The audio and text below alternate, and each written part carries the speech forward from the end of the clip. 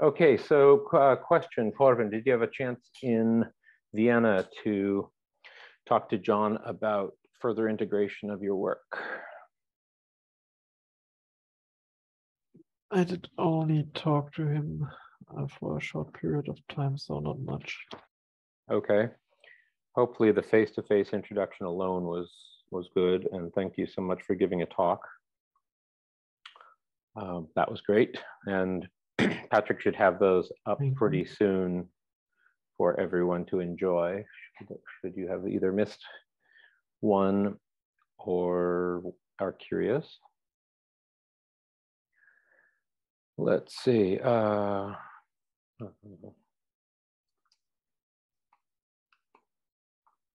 and Hans, have you heard anything from Vitali? And either way, uh, breaking news might suggest that uh, I sure hope he'll be available to help in some way, but if he's being like mobilized, that is flat out terrifying.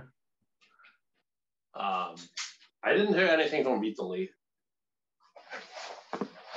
But um, if there's need in helping out with that issue, I can I can help. How is your overall availability? Pretty good right now. I'm starting a new project uh, in October. Ah, That- okay. It's relatively soon, but until it's uh, going, um, un- until that will require most of my time. That will be a couple of weeks left, I guess. Did you wrap up your previous project? Yeah, pretty much. How'd it go? Last last bits are out out for review, and um, so that that doesn't take much time anymore. And the next one is still out. Well, officially, I'm starting probably if, if I can get a contract going um, in October. Could could be delayed by whatever reasons. But yeah, in, in general, I I can help if Vitali doesn't want to continue it. I think he wants to, but um, prevailing winds might prevent that. We should both reach out to him as soon as Yeah, this finishes. Um, do you have access to AMD hardware? Um, I have access to relatively old AMD hardware. Uh, do you know I the chip a- model? Um, it's a bulldozer, so it's Bulldozer. pre-Zen. Got it. I, I guess in theory, I could give you OpenVPN access to my Yeah. oh, 7402P, I believe it is the chip. Question that- really is, did, did that much change in the hardware that is necessary? But yeah, that would probably help. So his patch appeared to work, but then it blew up on AMD. So he was going to revisit then that in October, but we should reach out pretty soon while there's turmoil in the world. So let's, excuse me, let's both uh, do that. I will write after the meeting. Yeah, I'll. Yeah. Okay. Okay, cool. Uh, and did you take time to, at any point, to orient yourself with this code? Uh, not not yet really. I was quite swamped with other. Yeah, you had a big old project. Um, so maybe do take a moment to just see what's there and uh, if anything, get a sense of what might be platform specific, meaning Intel versus AMD.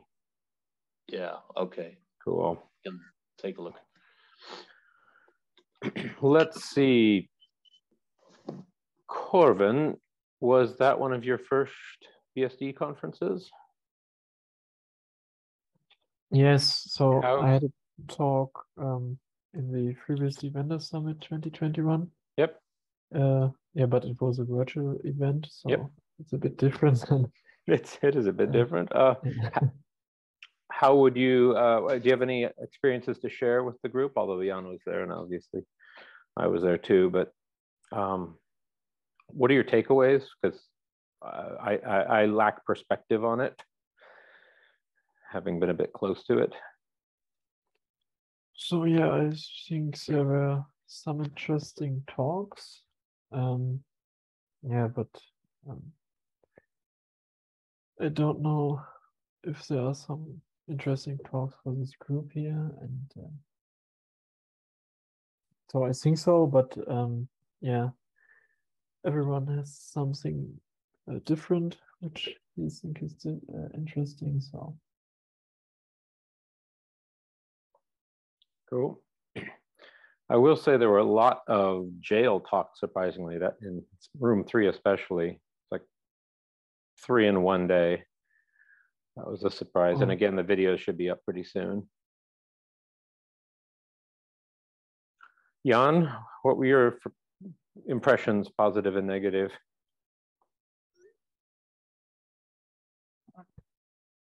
About um, sorry, does my audio About the even work? conference?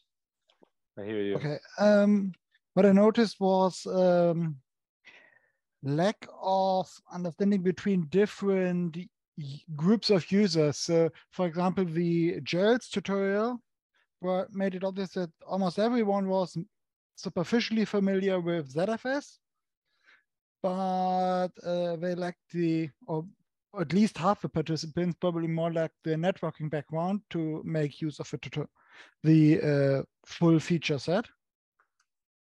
So uh, connecting these communities would be valuable. Even uh, Luca, the uh, pot developer, freely admitted that as a jail manager developer, and which is aiming at data center scale orchestration, uh, he lacks the proper networking background to uh, evaluate which backends make even sense to uh, try. So, so I admit it is maybe a bit. Um, I will be first to admit that I also am stronger in storage than networking, as you've painfully seen in practice. So what have you seen help bridge those groups? Um, I, what I've seen is a bit of hallway track discussion on it, Yeah, especially around the uh, the centralized feeding places. Um, but other than that, not much, uh, which is really why we should do better. And it doesn't matter much if it's jails with VNet or uh, bhyve guests. Uh, both need similar network backends. Are you the one who mentioned the four types of learning and documentation? Yes, and I've sent you the uh, Yeah, what the links here. channel did uh, you send that in of my dozen or so channels? Twitter? Yeah, Great. Twitter direct message. Okay, cool. Uh, yeah, I'm, I'm still catching up on all the inflow of information from, So, um, got it. so nobody can be an expert on on everything, or or very few at least can. No, so the problem is that we are um, uh, if we demand that every new user has a deep understanding of every technology stack, uh, remotely um, touching their deployments, uh, we are just restricting ourse- ourselves to a very tiny user group, probably too small to sustain development. Fascinating. Do others have observations on that, especially like Andrew, you're in an environment where you, I'm sure you need some some ZFS, some networking, a little of you name it, system administration, and how do you acquire those skills if you have a foundation of some? Lots of reading, Lots of. Are you okay? I like that. hanging out in meetings like these. That, but, um, and a lot of it, and a lot of just ex- experimenting. But I, I don't think that necessarily gets to the real point of Jan's what Jan's saying, because having the ex having the expectation of somebody having such a wide coverage of, of this type of information is just probably not reasonable. that's why I brought it up um, because I sometimes uh, see in online communities around BSD is that um, some old farts just um, drive off new users telling them, "Oh, unless you know this, this, and this, why are you even trying?" or something like and that. And they're jerks about it. Yes. That either they're jerks about it or they, what, at least if they're jerks about it, they will drive some of them not just away, but uh, to learn in defiance. But even worse, as the uh, sentiment that oh, this is too hard for you, just give up and use this whopper. You don't want to understand it, you shouldn't. And to that, I mean, to that point, that's a problem Linux had for a long time that it's gotten a lot better about. Mm-hmm. I mean, you know, you, you look at the network stack from, from Linux in the 90s, it was pretty rough.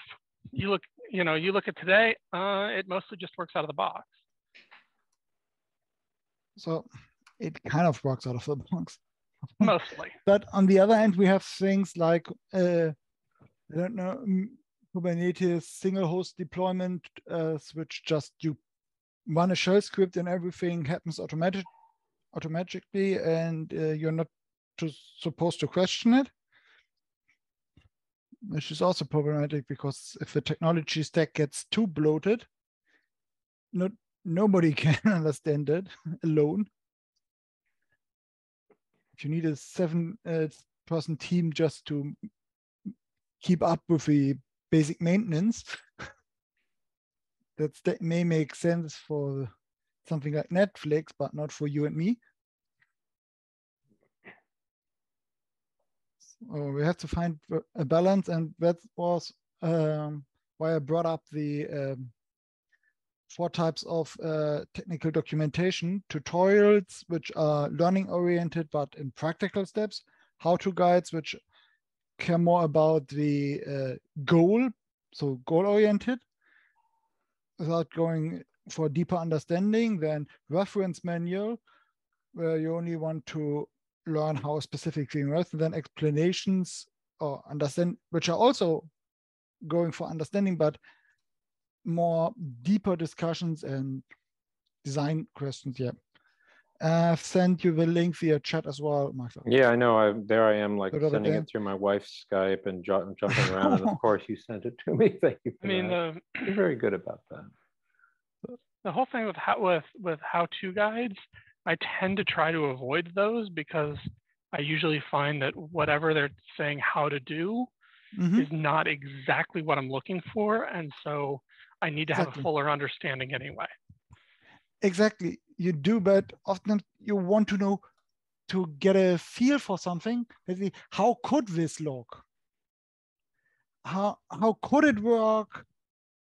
Isn't uh, the downside is is if it's too easy, which also came up during the jail um, uh, tutorial, that uh, well, it was a bit confusing for the less for the real target audience, both fairly new to jails, because the uh, slides um, didn't make a clear difference between what's supposed to be an interactive command, what belongs in a config file, and um what is only a shortcut.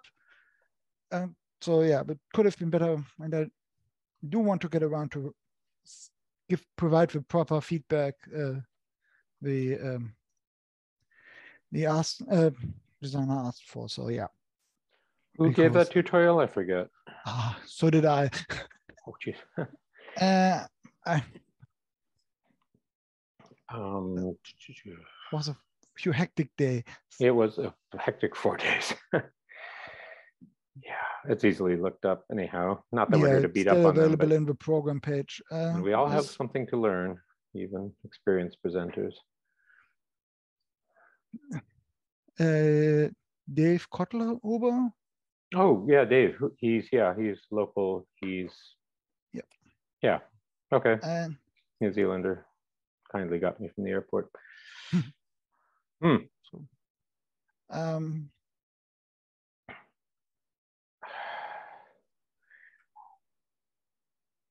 Excuse me for two um, seconds while I let a dog in. Go ahead among Sure. yourselves.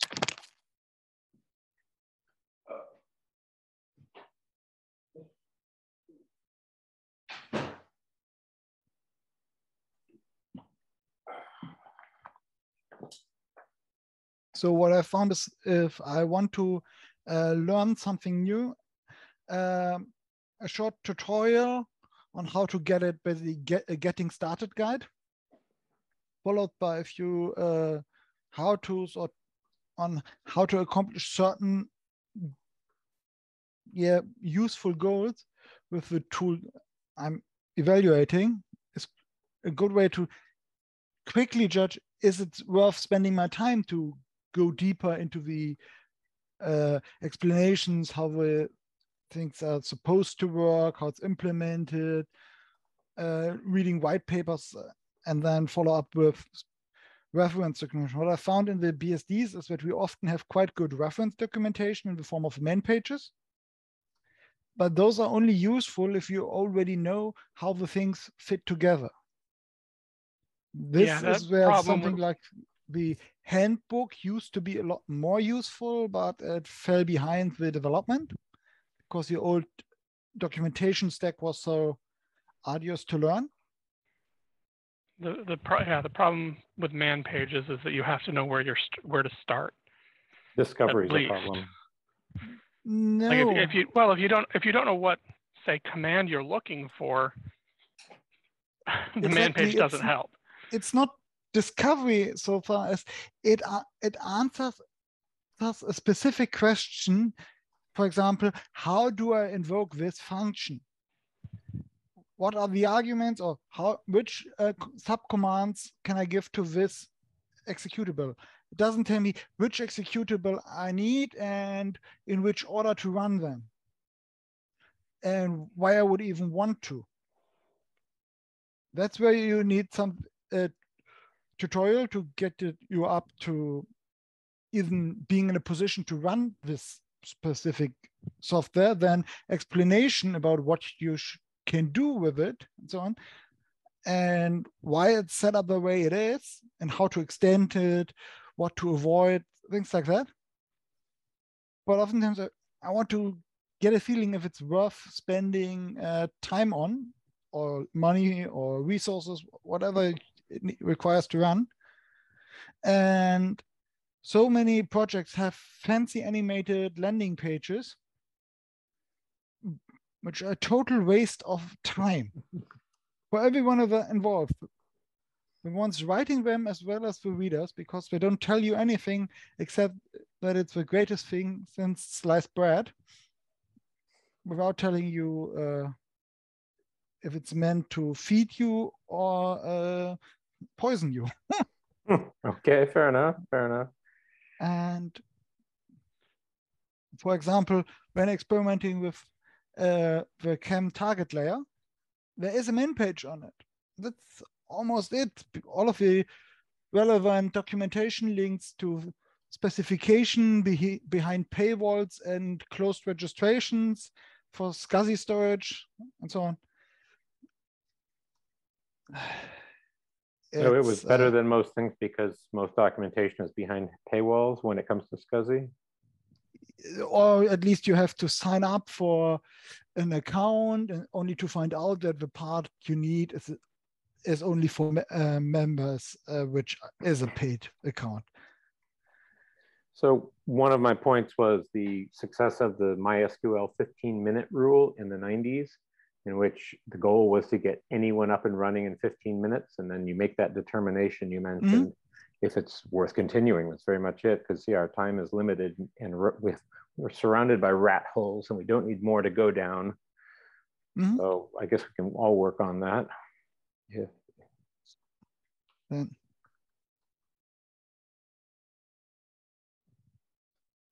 Other observations, Hans, Corvin? No. No. Okay, fair enough.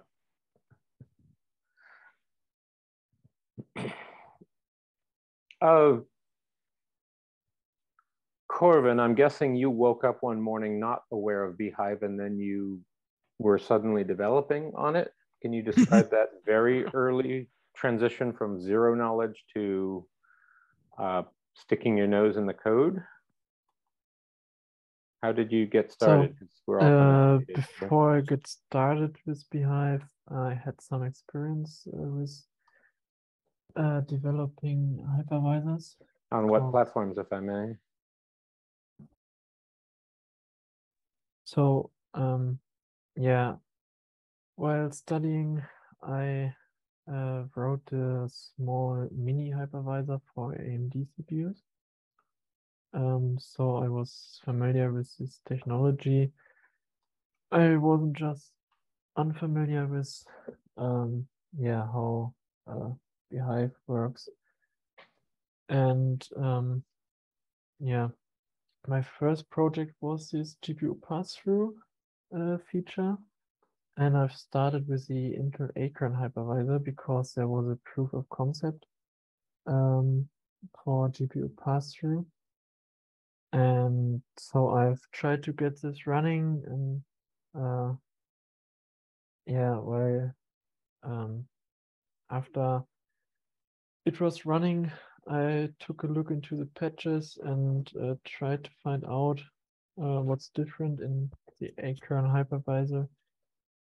Um, and yeah, I had a bit luck because the Intel ACRN hypervisor um, is very similar to bhyve. Um, It was So- bhyve. You can still see mention of Tycho and Peter and Neel and company. yeah, uh, that's what I guessed.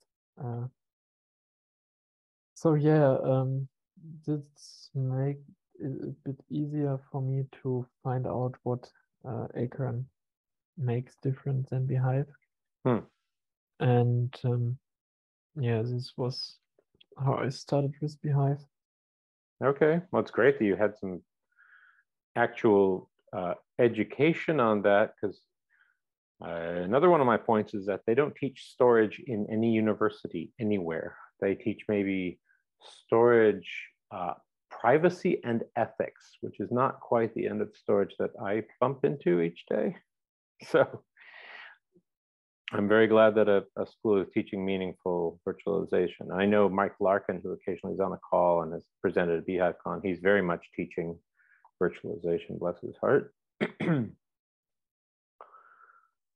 Hans, any thoughts, observations on, on like, for example, how did, how did you first uh, look at bhyve? well, I was asked to to take a look at the port to illumos. So, and then But then you came to it with an experience with Illumos, I trust? Well, I have worked on illumos since well a couple of years already at the time. Okay. So, uh, and I've never never done anything in terms of virtualization. So this was just um, me being thrown into cold water. Okay. Okay. And well, it kind of worked out. yeah. So how would everyone rank their, on a scale of uh, one to 10, their raw networking knowledge and experience as it applies to virtualization? I won't take notes, but I'll proudly say I'm like a, a four or five. So, what, do you mean with uh, network knowledge or networking knowledge? Um, I I mean, that's a very vague term. I I generally have left the networking to other people. Just tell me what IP I should use in gateway and DNS, and I'll take it from there, rather than uh, mm, building networks at the various layers. Um, that's a it's maybe a skewed question, but um, Jan had made the point that for the tutorial and even with speakers, they they were finding that they didn't have the prerequisite knowledge. But what does that look like? And you know, where do where when do we declare somebody adequately informed about such things? Welcome, Rodney. Hadn't seen you there. Maybe you've been listening in for a little while here. I bet you have some some opinions. I think the last part is an is a loaded question Okay, and I'll take it back. because adequately. So why do you get to judge one?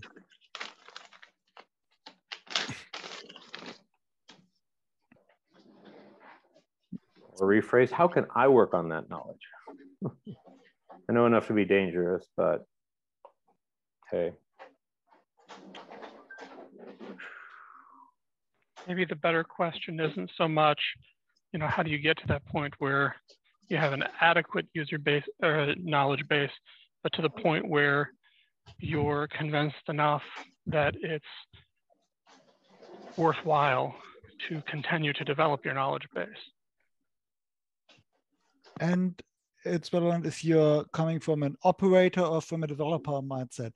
Mm. Do you feel uh, comfortable enough with the technology to depend on it, or do you uh, feel comfortable enough with the technology to, to develop with it or based on it, or do you even feel in a position to judge which technology can solve your problem? Those are three very different things.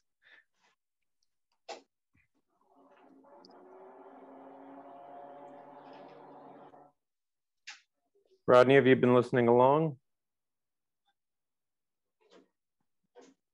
Yes, How far back? in the chat, I said 15 minutes, but Oh, okay, I don't see that. Sorry about that. Um, it's all right.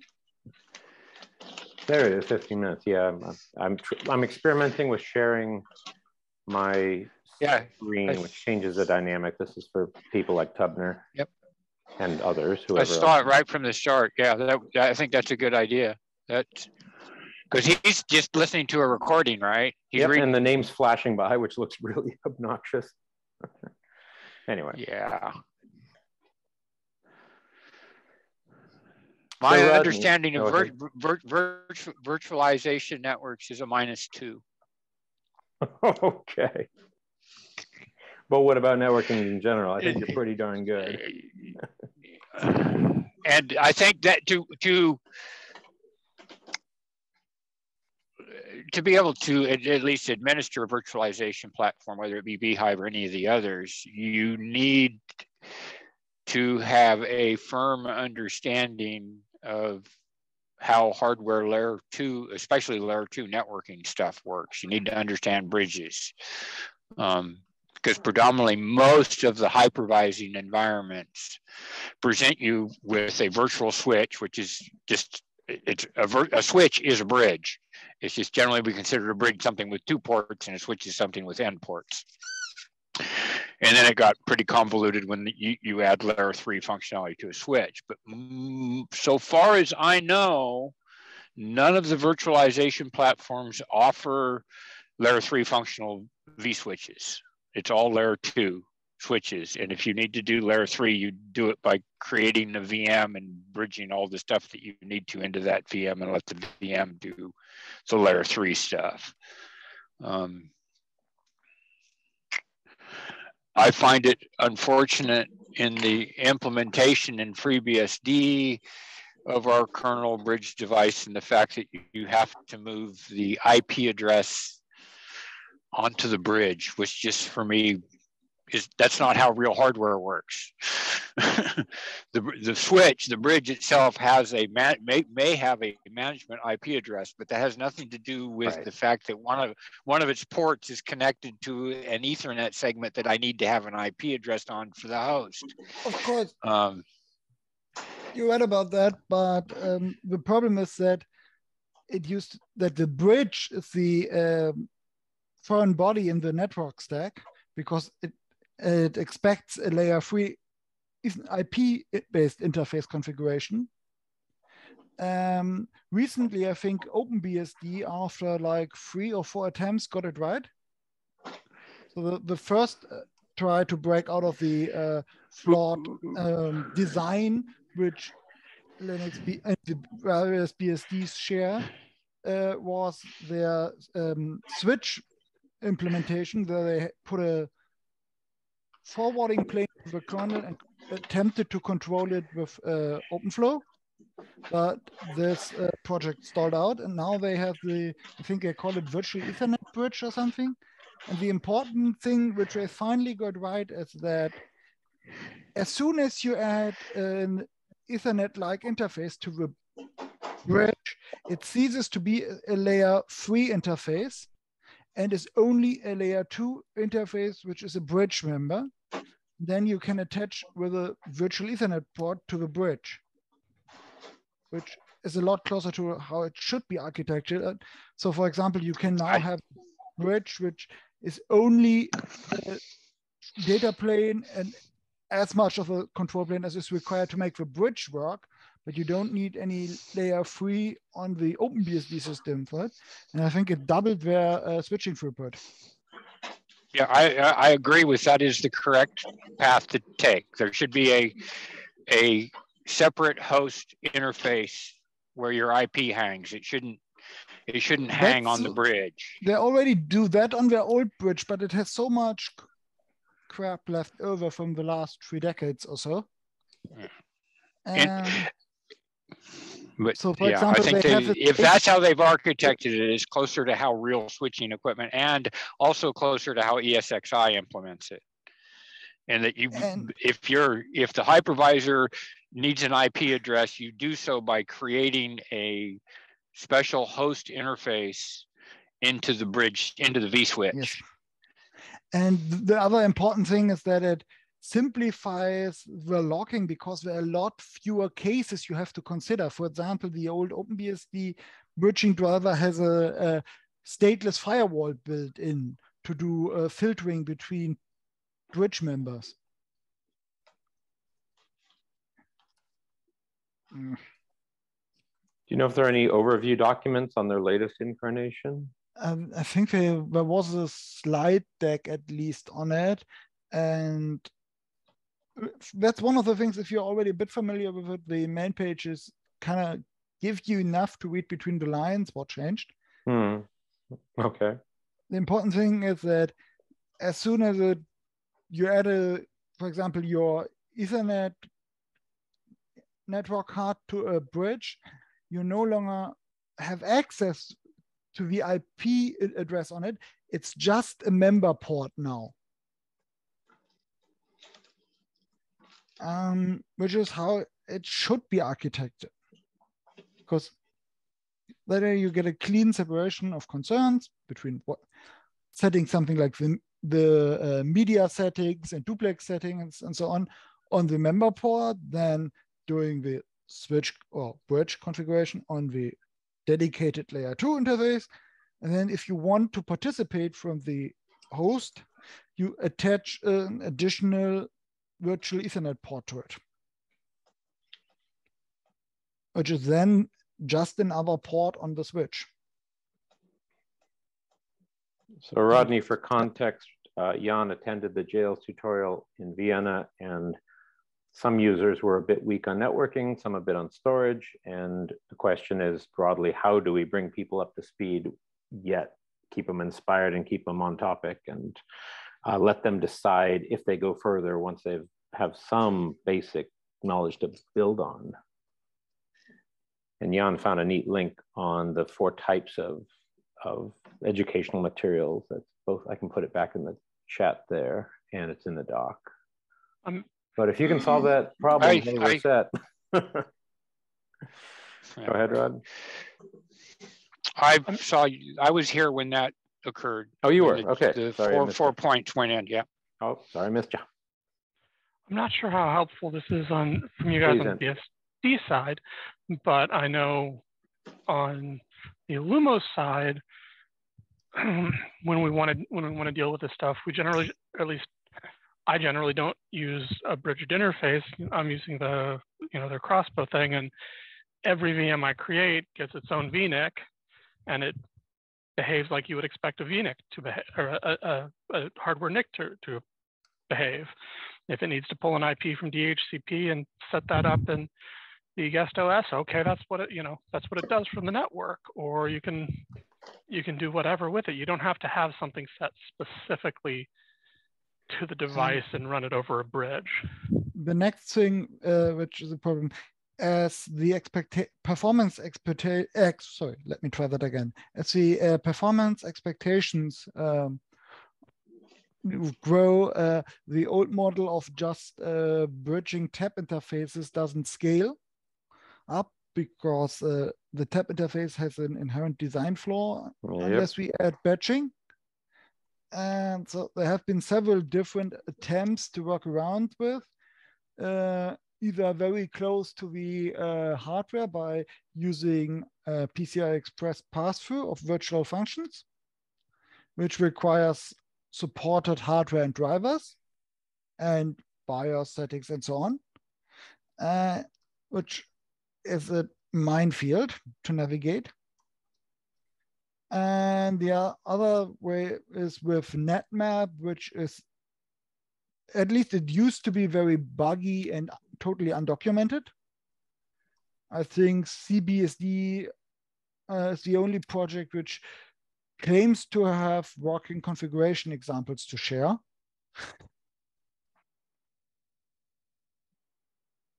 Yep. Uh, Rodney, was there, be it policy, for lack of a better term, early on on on be it the handbook and other educational materials to guarantee some uh, basic resources beyond manual pages? And heck, when did the handbook even come along? I don't know that there was any policy or anything, but there was a very enthusiastic group of people maintaining the handbook when the handbook started. It was the one of the mm, shining stars of the project, and the, the, the formulation of the handbook and the fact that it was actually actively maintained so that as things evolved, the, the handbook was very quickly updated and stuff, made it a resource that nobody else had. Um, other projects, un, unfortunately, un, yeah, other projects, and unfortunately, that group of people and that enthusiasm has moved on. I mean, the handbook is huge. That's a it's massive huge. amount yeah. of, of documentation to maintain, and you have a group of developers that seem to have very little interest in maintaining their the external documentation of the internal code they're working on. So it's a, I think it's a mindset and change in the project. I mean, it was always it was always hard to get people to update man pages. Um, I think that's still hard, and um, the handbook was it just it was second removed from that process, but it was done. Uh, Do you know when in the history of the project it, it appeared? Was it super? Early? I can't remember. It was fairly early. Okay. Um, uh, I can't. I can't put a, a release number on it. Okay, that's fine. Other. So as a user um, learning FreeBSD around the FreeBSD 6 and 7 days. And then as FreeBSD moved along and develop, developed further, I found that it stayed with the oldest supported release and always did things the old fashioned way because it worked due to backward compatibility over all releases. So sometimes you had to unlearn something you just learned if you were running the latest production release. And so that's and almost no developer is able uh, can write human consumable documentation. So it's good if the developers write man pages for other developers, but having them write proper tutorials, that's a rare skill among developers.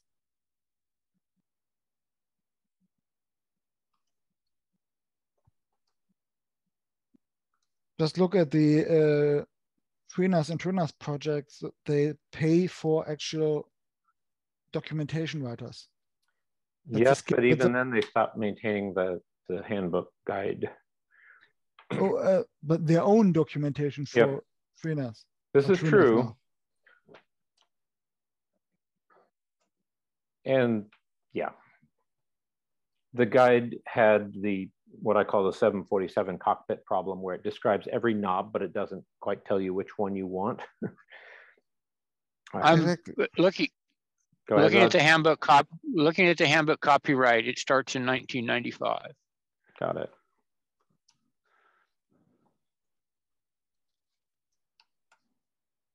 Amazingly, that's kind of what I was thinking because I did have a little bit of experience with BSD back that far.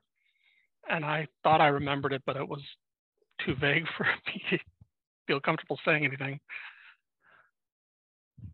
So um, I, because I'm not familiar with Solaris, I just looked up how Crossbow is hooked into the Solaris kernel. Supposedly it depends uh, on a suitable network card to handle the classification and partitioning of uh, flows into per VNet queues.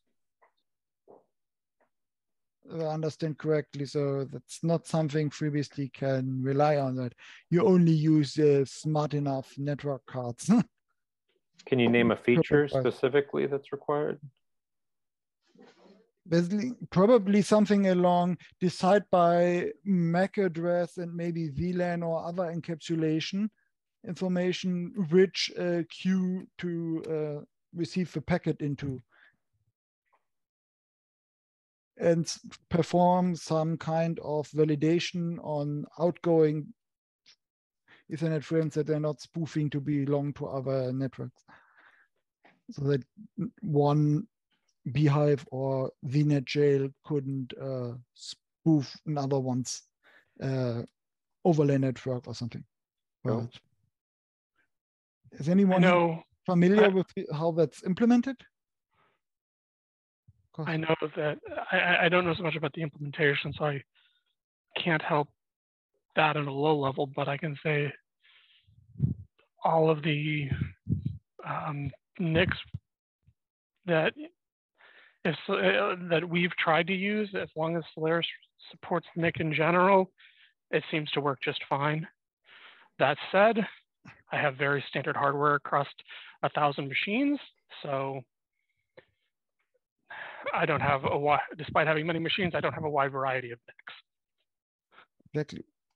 The network cards you want to run in a virtual machine host probably do support all of the required features and have been done so for ages, but FreeBSD is often run on whatever someone finds in their basement.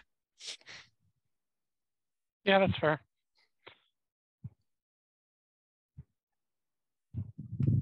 Um, can anyone point to exemplary, well-covered topics with, you know, documentation in various forms for users of various levels of experience and approaches to learning? And it doesn't have to be within BSD or illumos circles, just anything out there that just is a shining example we should follow, because we obviously, um, obviously need help.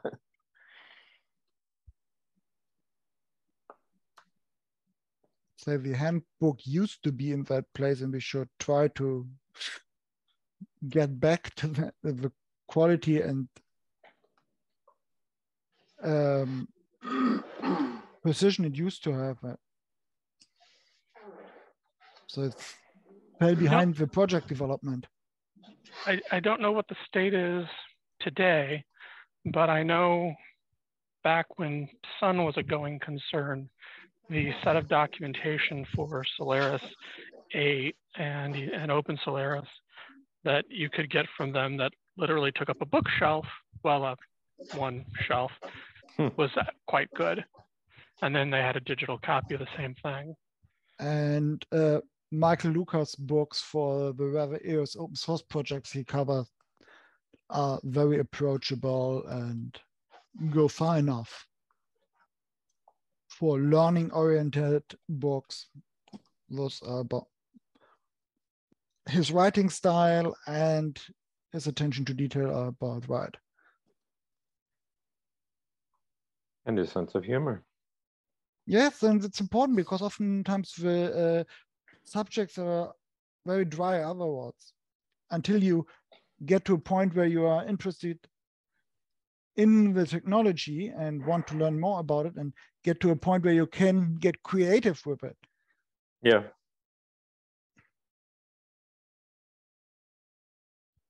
So maybe uh, we have to get him drunk and have, and have him promise to write a bhyve book. uh, I, one that's come up too, he cannot drink. He says he'd die which is great because I can often get his drink tickets and Alan's drink tickets at events, but that's ne neither here nor there. Okay, um, uh, bribe him with gelato. Gelato, correct. That is the correct answer. Rodney, gold standards of example documentation from cruise missiles to you name it. not going to cite anything. Okay. uh, and Corvin, Hans, we're to- there's open discussion, totally open to ideas and suggestions. Go ahead. The original gold standards were the BSD PDF papers that were the post, actually they were PostScript, I think is how they were shipped in binary format, but they're nroff documents that were in user share doc. Those are the original gold standard. There's about 10 papers on various aspects of the BSD system itself. We don't even, I don't even think they're in tree anymore. The old uh, BSD4 handbook is still available somewhere, Oh, cool. but Oh, and how did Greg Lehey's book relate to the handbook as, as I stare across the room to one? He has this massive, massive tome.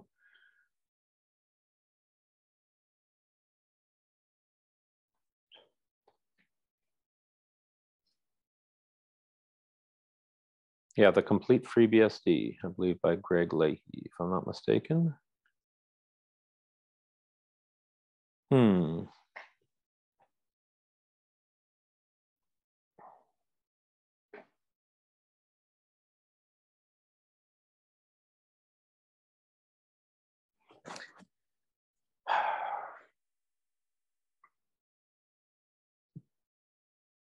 Does anyone present have uh, a list of areas they would like the most light to be shown on that they consider the least documented and most worthy of attention?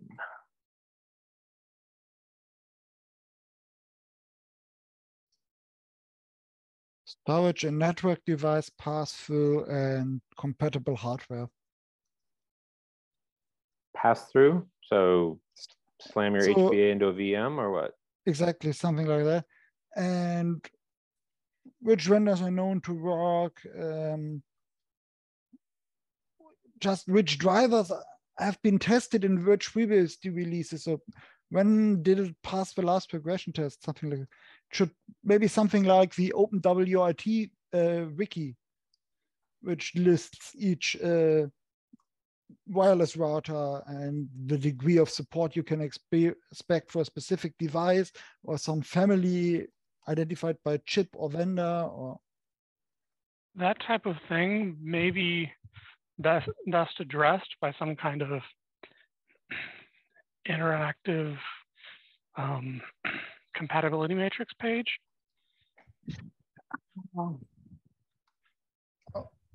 I think that would imply too much dependability and precision Probably.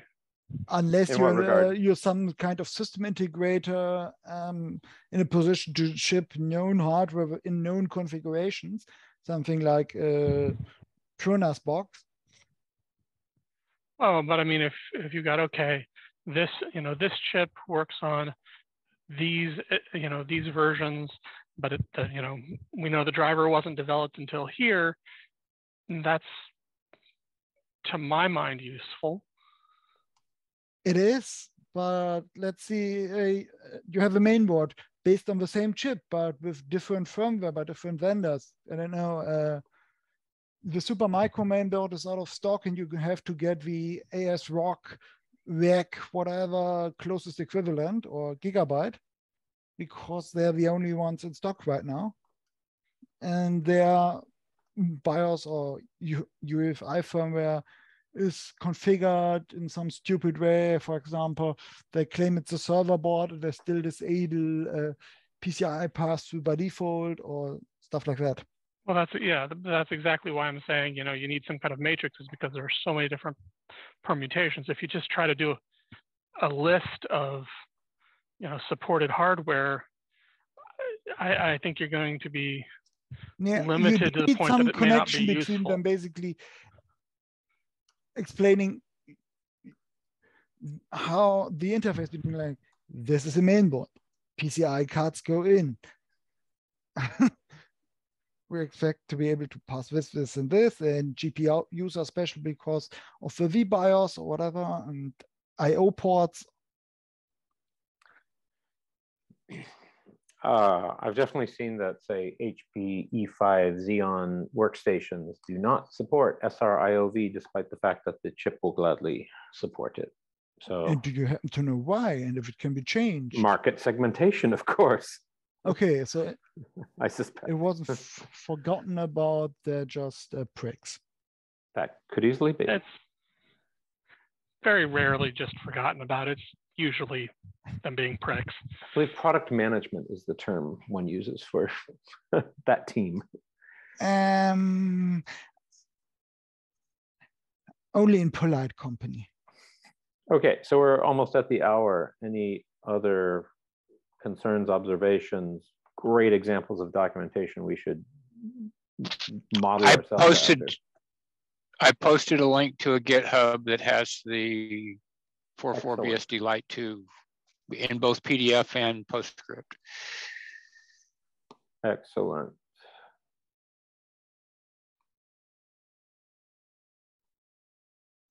And looking back, would you describe them as white papers or education, uh, university materials? University materials, many of them were written by either McKusick, Karels, Leffler, uh, possibly Bill Joy. Um, Would you consider them a predecessor to the design and implementation of FreeBSD book?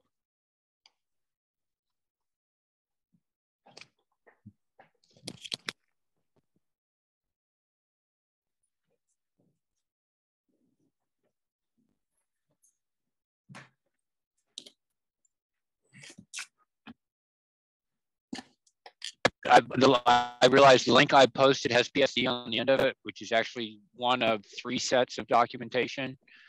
Um, there's, if you go up uh, one level, I think there'll be three separate directories, PSD, SMM, and Correct. what was the other one? Um,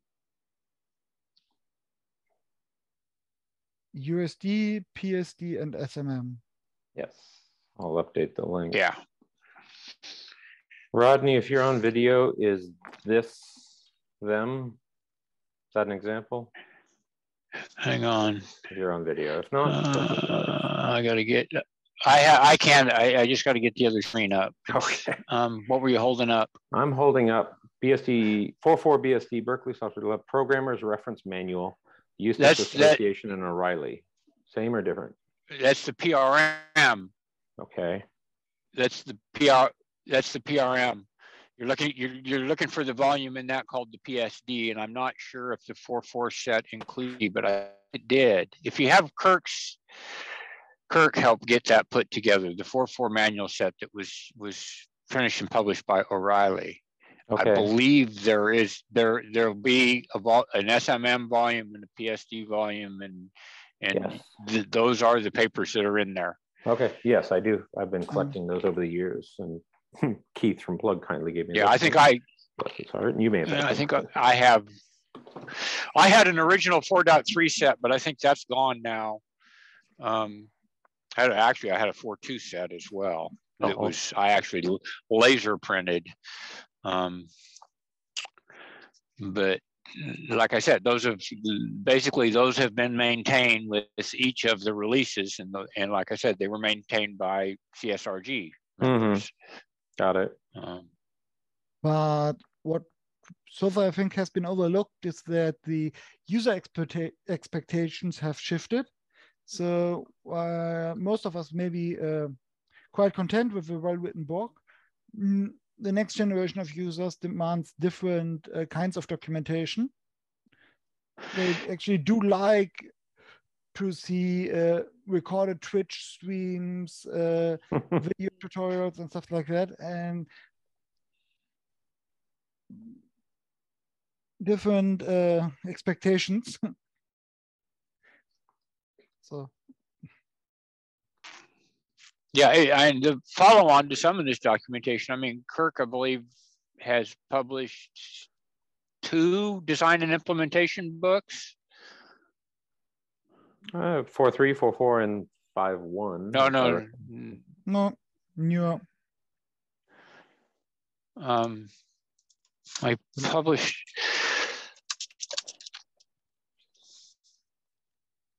Mm, I thought there were two versions of that. Yeah, there are two versions of that.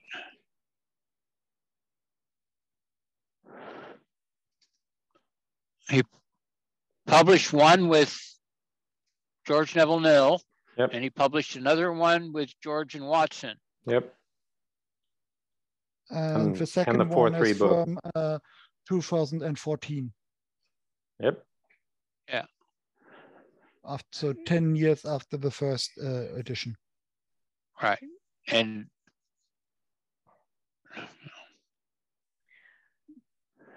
And But I guess really sure. user documentation as it's an academic operating systems design and implementation course workbook, uh,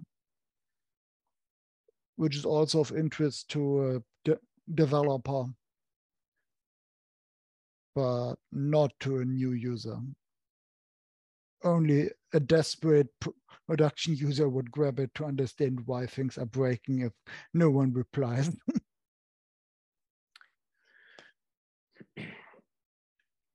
And uh, Andy and Hans, Andrew, sorry, uh, thinking of Andy with o- Omni OS, they've, they've been pretty good with, I guess, a wiki or their web page, whatever form it takes. But with the various distributions of illumos, are they, I don't know, is there any unified effort to document illumos as a whole, or is it just distro specific? Plus really old Sun pages with Oracle names on them now.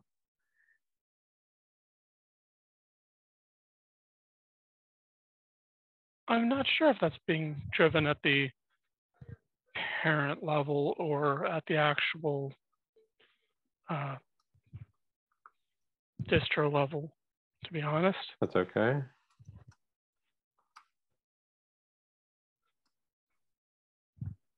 So we're at a few minutes past the hour. Shall we share any last thoughts and wrap this up?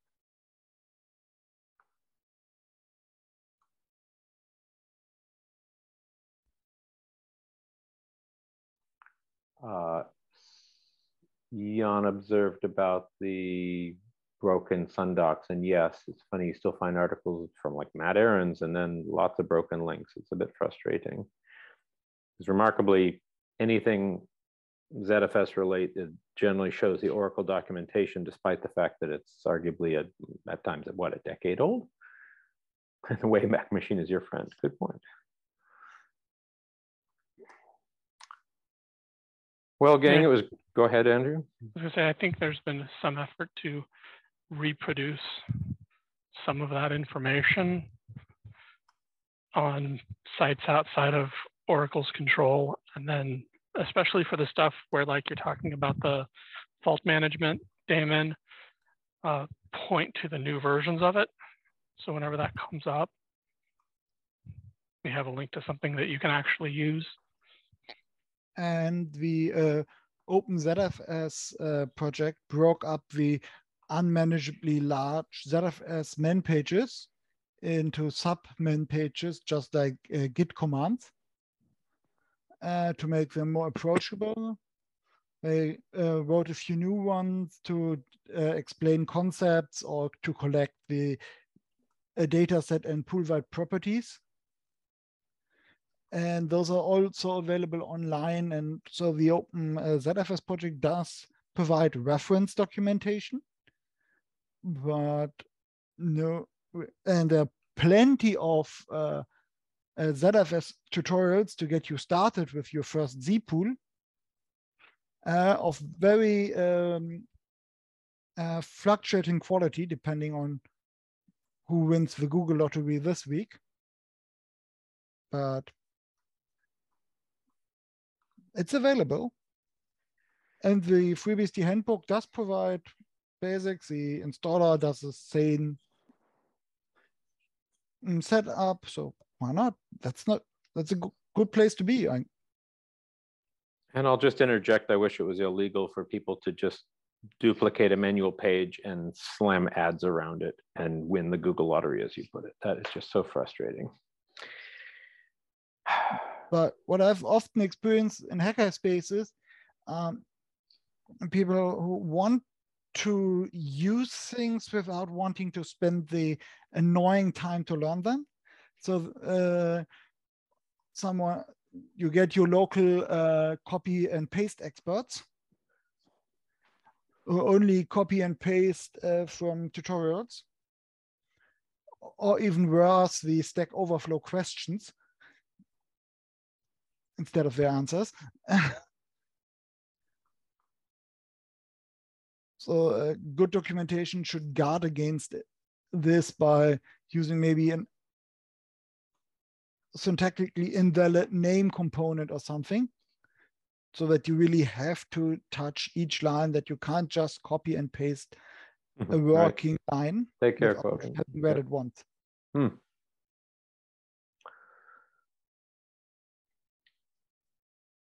And we have to, uh, by definition, they did try to search for things and obviously didn't find it and ended up on stock Stack Overflow. So I mean, I'm not, Which- I, I- Sorry. I'm not necessarily sure that I agree with that. I mean, I, I get where you're coming from, but from the other side, I don't think that putting an impediment to the user is necessarily helpful. No, not an impediment, but if you provide a ready-to-use shell script which can be applied without any understanding, without having even really read through the code, you're not helping the difference between giving someone a fish and teaching them to fish. And so don't well, but uh, the- the issue the issue is that there's a certain amount of users who are users and they are not interested in learning how to fish. Exactly. And for those, you need abstractions and not cop and a copy and pasteable tutorial in the bookmarks section of the browser is a bad form of uh, automation and abstraction. Because one sometimes they will copy only all but the last line. it's fine to have some kind of automation, maybe a mini bhyve or take care, Rodney. package you just pkg install and uh, it does everything for you. It asks you question. That's very useful. There's nothing wrong with that. If it's implemented as a wrapper around a nice api it even provides a clean way to grow. But just getting stuck at the stage of copy and pasting without understanding Yeah, well, and it doesn't help that everything we touch is a moving target with active development, which is often a good thing, but that may change behavior, which challenges documentation. And those wanting to fly forward with development don't want to keep up with documentation all the time. And it's a As as challenge, you- and we wouldn't be having this conversation if it was a solved problem. As long as the old way works and backward compatible interfaces are maintained, let's Mhm, then add new things. As long as it doesn't make the code unmaintainable, mhm, more power to them. mhm. It's unreasonable to expect someone to write tons of documentation just because they wanted to contribute their improvement if it doesn't add a large maintenance burden to the project.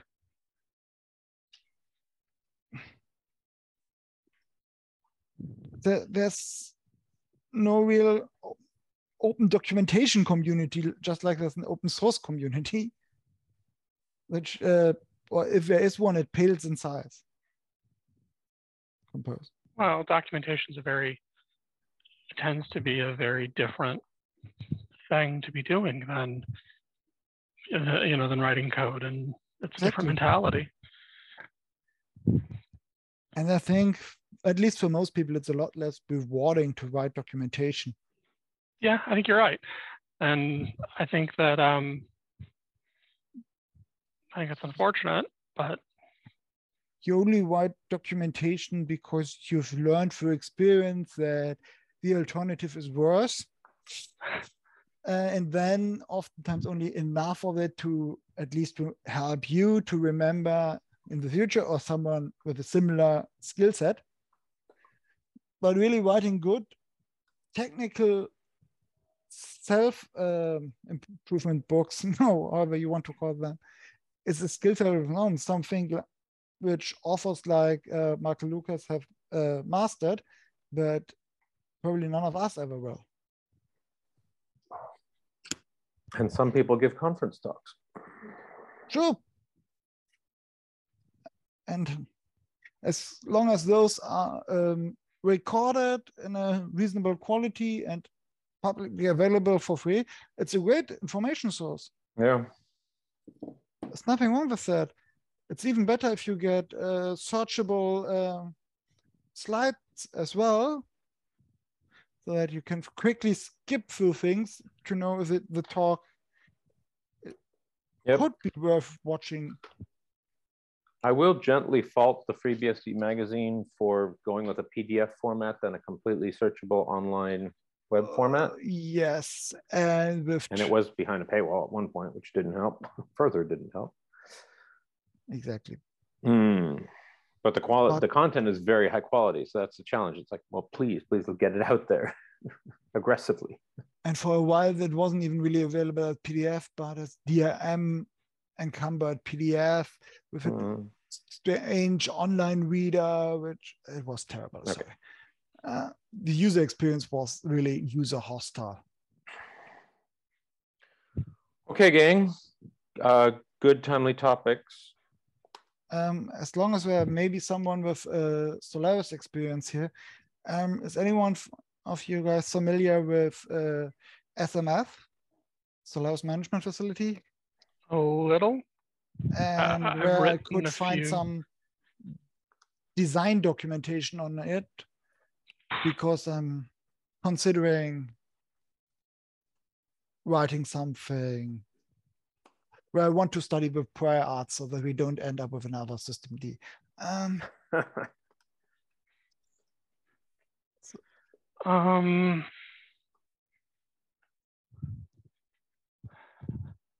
Shoot. The last time I, last time I needed that, it was, it was still on my Sun, and I think Ben Rockwood had a bunch of stuff on it. It was really good, but a lot of his stuff is no longer on his site. Mhm. Not Guess sure what happened to- there. we probably get to th- uh, thank Larry for that. He needed another America's Cup yacht. Um,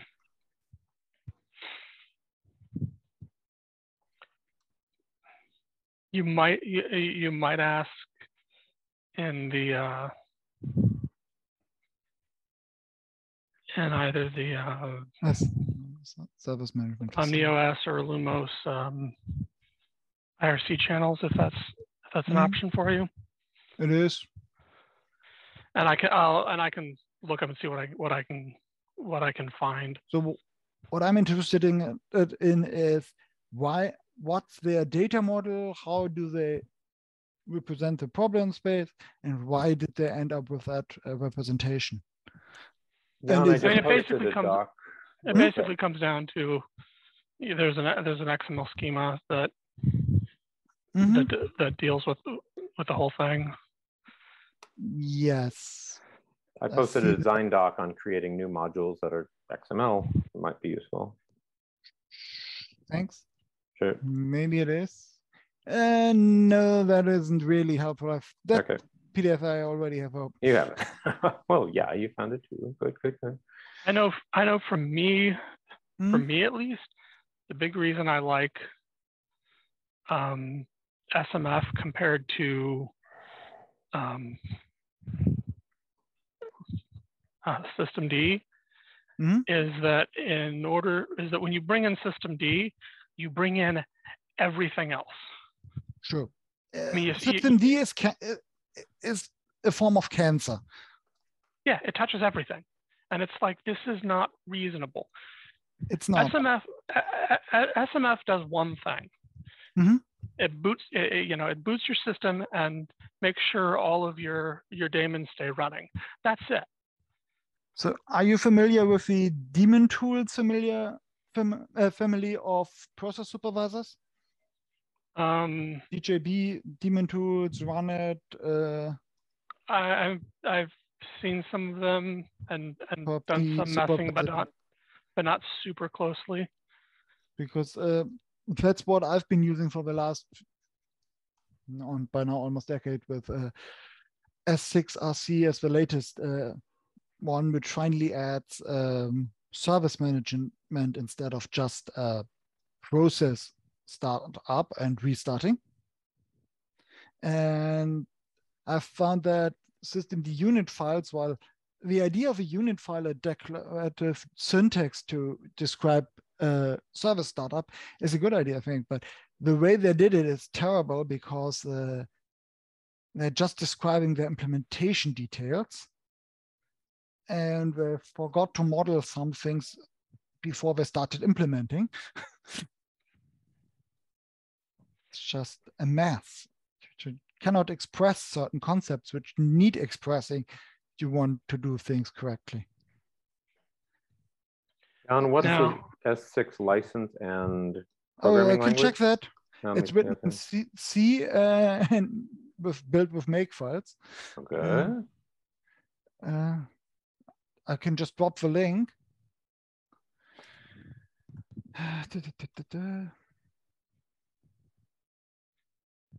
So this is the starting page of the whole thing.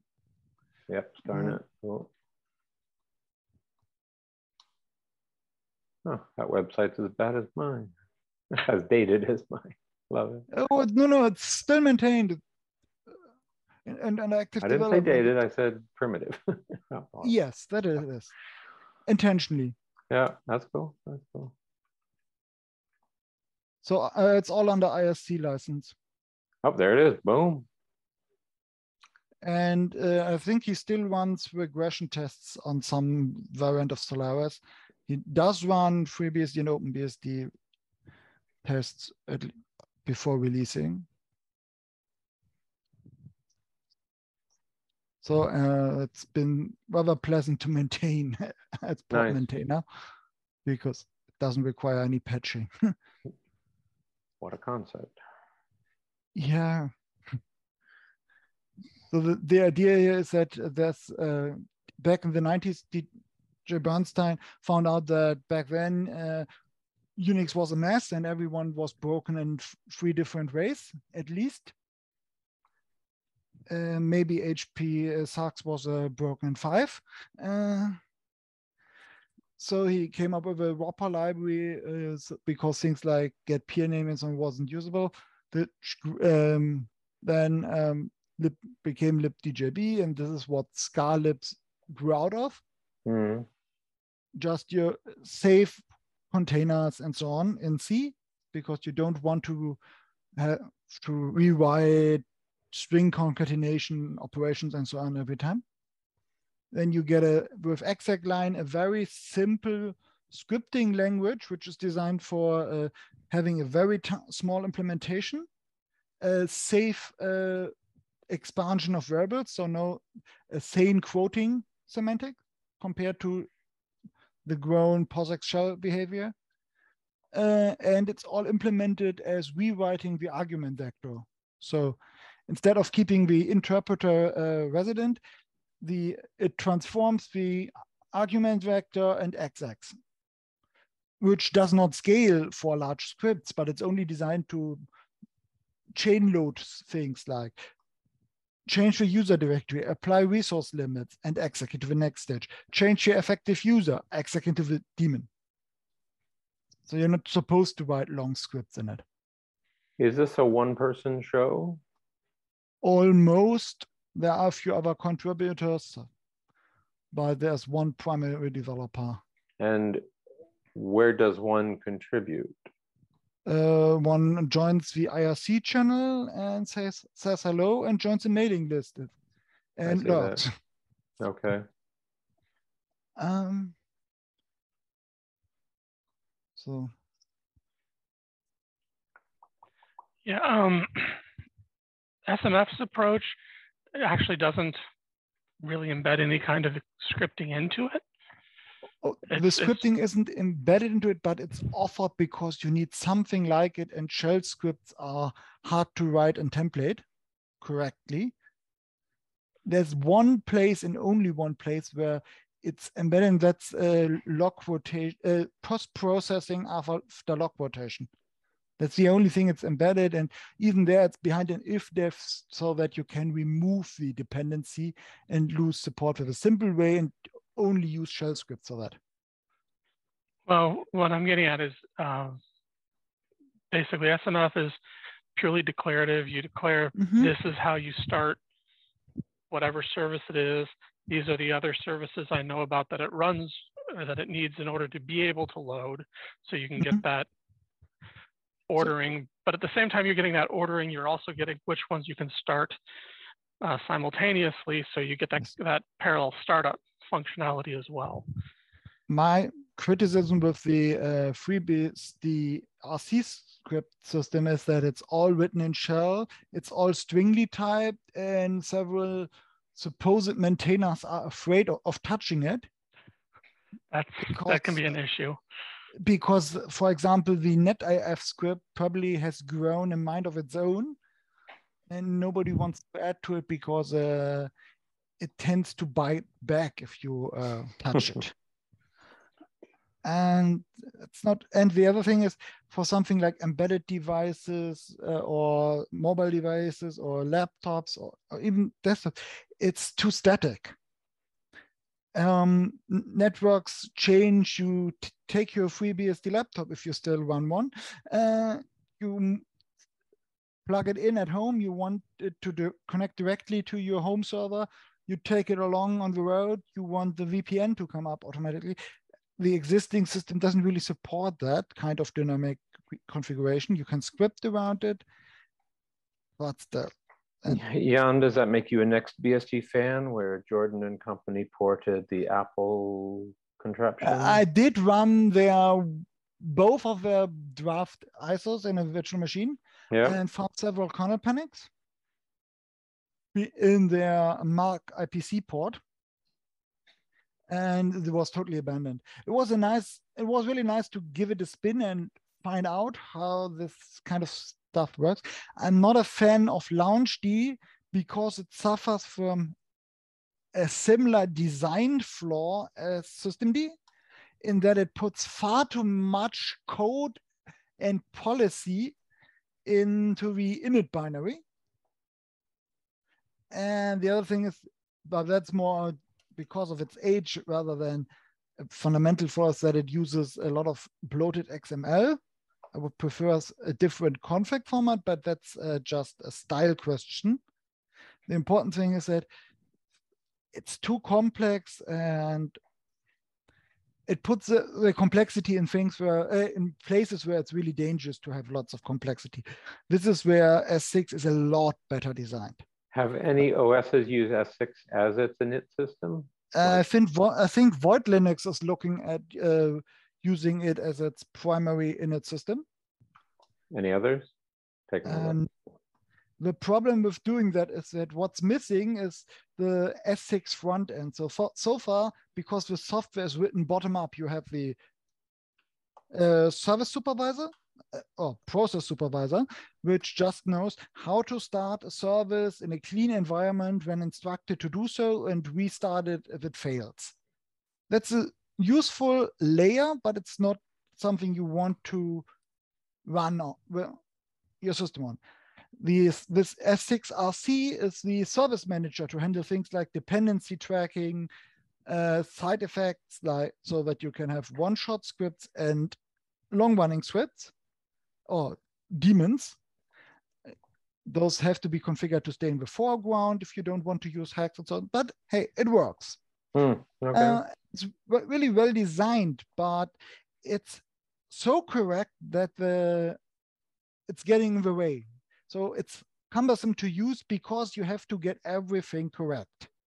You have to specify things. You can't take short circuit uh, shortcuts because it doesn't let you.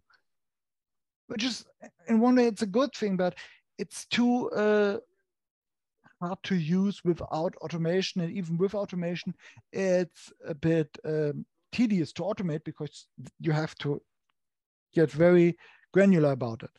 But so what's missing is a nice, easy to use front end which is in a work in progress, but isn't uh, developing quickly because the the primary developer has to uh, pay for uh, other expenses his project. Is there a nickname for that project?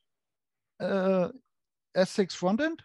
Yeah, I'm searching uh, six front end. There it is. it's literally Yeah, that. Okay. It's in development, and uh, he did put out uh, basically a call for sponsoring.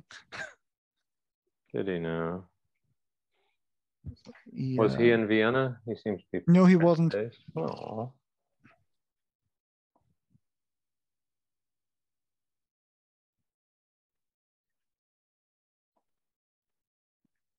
Hmm. But one of the nice things about his uh, software is that he uh, demands even of contributors to make sure to stay within the for the portable parts, which aren't ex- uh, part of the exclusive Linux only projects, to restrict themselves to portable APIs and don't use things which aren't portable, even if it requires two system calls more and a bit more thinking.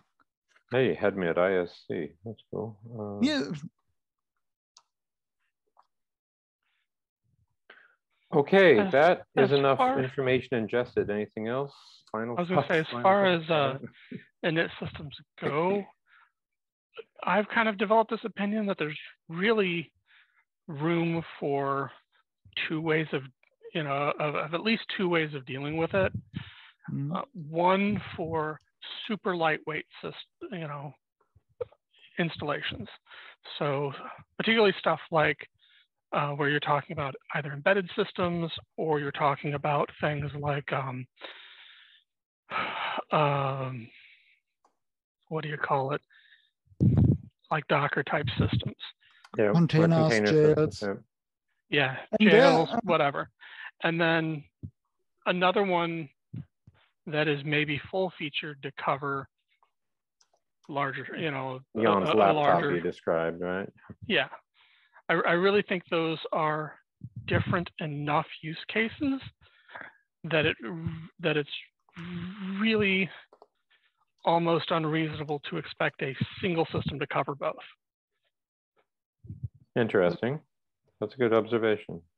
Mm, yes and no. Uh, because I don't see a reason why it couldn't be done if you separate mechanism and policy correctly and make it modular enough that you just can not include certain mechanisms, helper daemons, and so on on the embedded systems. And Apple has proven that the bloated uh, init system like LaunchD with lots of changes works very well on mobile devices, their iPhones particular, and even on Apple Watches. And it does save them uh, power and battery life to have a big fat init system to uh, which is able to find unused services and ask them to release their resources. So with a transactional model and so on. And supporting socket activation so that if, for example, uh, your service can be exited or suspended to disk, basically, depending on which level of support it has, and then be restarted quickly without the user ever noticing because the service interface, the socket or Mach IPC port, was never unavailable because the init system was always waiting for a client. Hmm. The problem with this dynamic approach that everything is socket activated is that uh, there are no guarantees, so it can always explode at runtime, which is why it doesn't work for safety critical systems.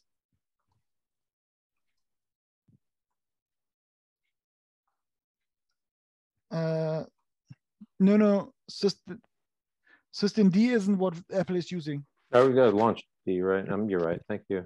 Um, And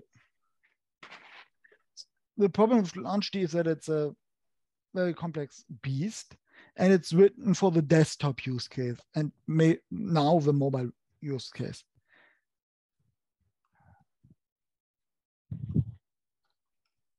I'll admit I haven't spent a lot of time looking at the mobile use case. So um, one of the problems is that you really care about power consumption and especially dynamic power consumption. So you want to waste the least amount of power over a given day or something like that. Hmm. And it has to be responsive to the user when they use it. And for that, socket activation makes a lot of sense. For example, because the super server is always listening and as you spawn it on demand and if it's used often enough you just keep it around Does S6 have any notion of socket awareness and Uh, activation? yes it does uh, but it does but it does the absolute minimum mechanism it has to um, because there is a separated support daemon to hold file descriptors uh, for safekeeping so that you can get the listening socket back if you need to Hmm. that's all that's required uh, to have one always uh, running daemon which must not crash because then you're losing its file descriptors. But it's a very, very small daemon, uh, a, handful of memory pages basically to uh, listen on a Unix domain socket, apply a, a policy to clients to ver- uh, check if they're allowed to store or retrieve this name and then uh, have them store or retrieve this name. And because it's such a tiny daemon, if you need a second one to make your life easier, you, you can just run a second instance of it. And so that's there. What isn't there the bloated API system you did around them? You could re-implement them if you wanted to. You said bloated API. Um, System D has APIs where you um, similar to what Apple does. Hmm. So the problem is that for a high performance service, something like your Nginx web server, if you actually expect a real world load, you don't want to um, spawn uh, a client process per connection, like Apache used to de- do under the um, inetd. But now you have a problem that you, the inetd model only works with one process per connection. What do you do with a listening socket? How do you get that into the uh, daemon?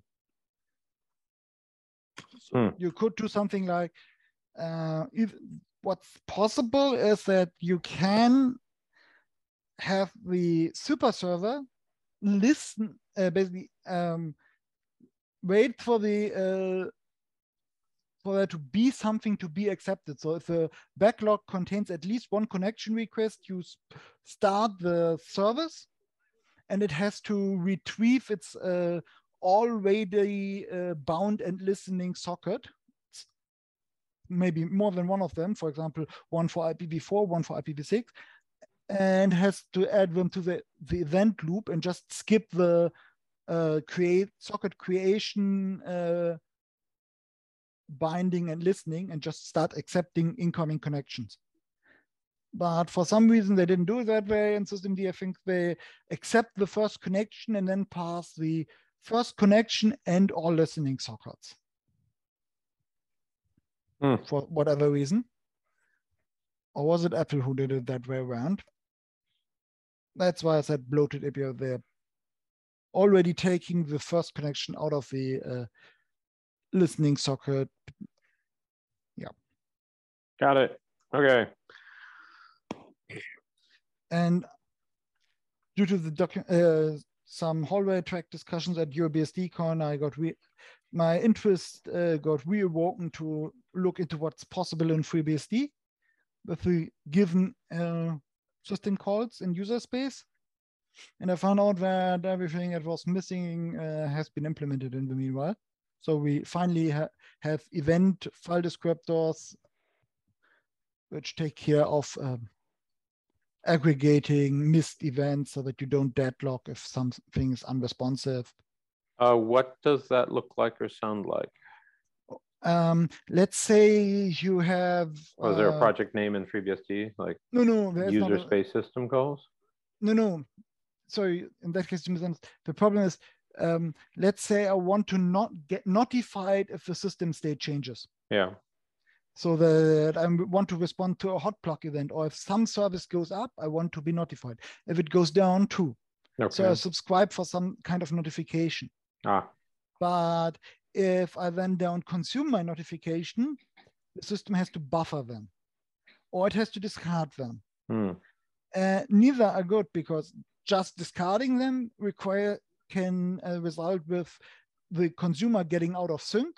Then the consumer has to be notified that he's out of sync and know how to poll, or uh, has to always poll so that the uh, notification is only an optimization, which is very wasteful uh, in a mobile use case. And the other alternative is to make everything um, reliable, but reliable multicast is uh, prone to deadlocks. Now the problem is that if some uh, consumer doesn't consume because I don't know you you attached something and then ran Control Z, uh, type Control Z, and suddenly you, you, your ev- event consumer is suspended the process, and your whole system stops working. And maybe it's a graphical terminal and something else requires an event to be processed and now your system can't uh, be used when you're deadlocked because you can't even switch the TTY, for example, Hmm. without it. Something like that. It shouldn't happen, but it can happen. right? Or something falls behind far enough. And the nice thing is that uh, the uh, event file descriptor can be used. It's a special file descriptor type which got added in FreeBSD 13. Uh, Linux ha- had it for a Do, while. do you know the name of it?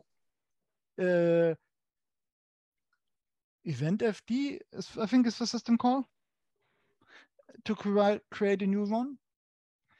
Uh, so um, the thing about an event, it's basically a counting semaphore or a counter. Yeah, just uh, you read a 64-bit counter value and reading implicitly resets the counter and because it's a 64-bit counter, it won't overflow at runtime if you perform even the slightest bit of rate limiting. I think I found it. It is an And- event FD from 13. Writing a 64-bit value to it just uh, increments the counter. Hmm. There are two modes for to it: uh, counter and semaphore. In the semaphore, you're reading uh, just decrements the, sem- the counting semaphore by one. And that's it. And it's a very easy to use interface. And if I make it uh, use this type of system uh, call or interface, I can support daemons acting as controllers to respond to reconfiguration at runtime. So let's see uh, uh, the an in Ethernet interface linked state changes. I want to dynamically uh, notice this with something like devd. And now I want to start some service because this service has been dynamically started, something depending on it, which is, wants to start suddenly gets started up as well Hmm. because its dependencies are now met.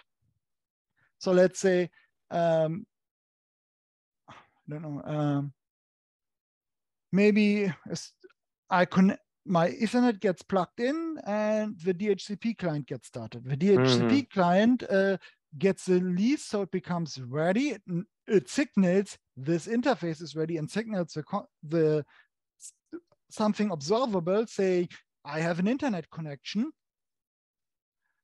and signal sets a state which says I'm in this network environment just by convention, and then you notice, oh, I'm in the network uh, uh, setup uh, or network. My networking scripts have def- detected I'm in state. I'm a network road warrior, so time to start the uh, VPN clients. Time, time to start IPsec tunnels or stuff like that, or WireGuard these days.